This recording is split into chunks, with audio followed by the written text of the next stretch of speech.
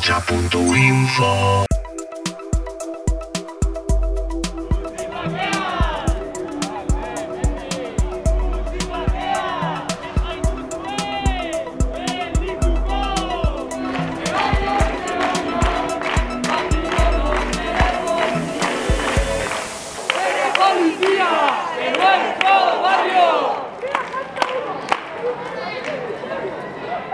Buenas tardes y muchas gracias a todas las personas que habéis acudido a esta movilización.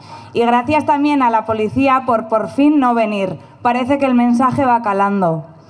Hoy nos hemos juntado para denunciar la situación a la que estamos siendo sometidas las últimas semanas. Con el inicio de la pandemia, la existente presencia policial se ha aumentado en nuestro barrio y las jóvenes del barrio, que somos quienes pasamos la mayor parte de nuestro tiempo en las calles, hemos, hemos sido los que más hemos sufrido esta situación. Esta situación de excepción se ha dado en la presencia policial diaria, en las identificaciones, en las multas, en las amenazas, en las redadas y, en resumen, en un absoluto control policial. Sin embargo, sabemos que no es casualidad que esta situación se dé en nuestro barrio. Mendillorri es un barrio trabajador, solidario y de gran vida y carácter. Fruto de esto es la juventud trabajadora, plural, rebelde y comprometida con el barrio. Somos jóvenes quienes formamos un tercio de la población del barrio. Aquí el motivo de que las calles y diferentes espacios del barrio estén llenos de jóvenes. En muchas ocasiones somos jóvenes quienes participamos en diferentes agentes o colectivos del barrio. Ejemplo de ello es la red de cuidados que se puso en marcha en el periodo de confinamiento. Por el contrario, los últimos meses hemos visto como diferentes medios de comunicación, de una manera interesada y distorsionada, han querido cri- criminalizar a toda la juventud del barrio, por hechos aislados que no representan en su totalidad a ella misma. Desde aquí, en beneficio del barrio y de, todas las vecinas, queremos dejar claro que nuestro mayor deseo es poner fin al control policial y a la situación de tensión que se ha estado dando en las últimas semanas. En los últimos días hemos tratado de trasladar al barrio lo siguiente.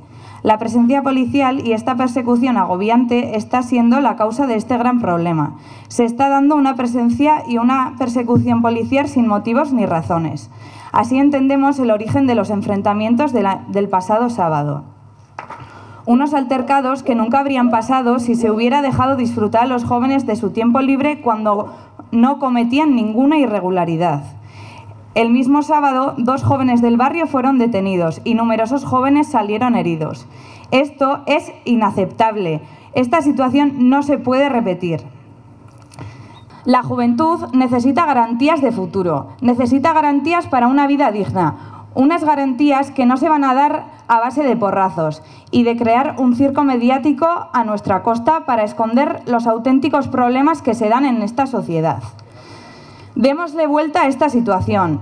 No dejemos de vivir en nuestro barrio y darle vida, porque en cierto sentido ese es nuestro derecho y nuestra obligación. No dejemos de relacionarnos y cuidarnos. No dejemos que nos criminalicen y se vean reprimidas nuestras libertades, porque unidas y trabajando en conjunto somos imparables. Gora auzo langile eta solidarioa! Gora!